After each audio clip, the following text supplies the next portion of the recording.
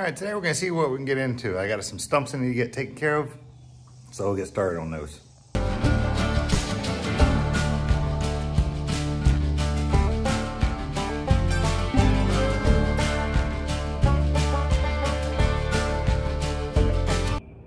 All right, we got the stump out. I did get it dug all the way around and cut the roots first and then try to push it out. You can see the good sized hole I got from it. And here's the stump. Actually came out pretty good, but you can see there's a depression. So that means I get to go get some dirt and fill it in to make it nice and flush.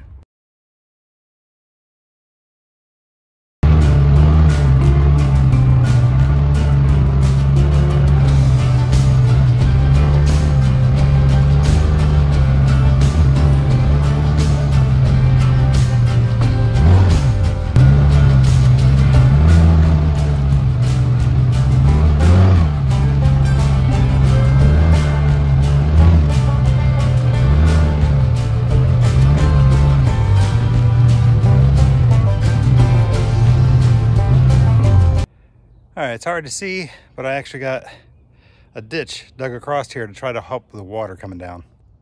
So you can see I got this dug coming down in. So that way when it falls down, the track all the way down, it can actually run down out. And on the other side, I got it coming down and going out the other side. Because this place where I have the trail is actually the high ground going through here. All right, this is a point where I'm actually talking about what we had going on you know, as far as filling in the ditch that had all the ashes from the wood stove over the winter and then all the stones and everything from that, I took back down and put into some of those ruts down there that you saw earlier.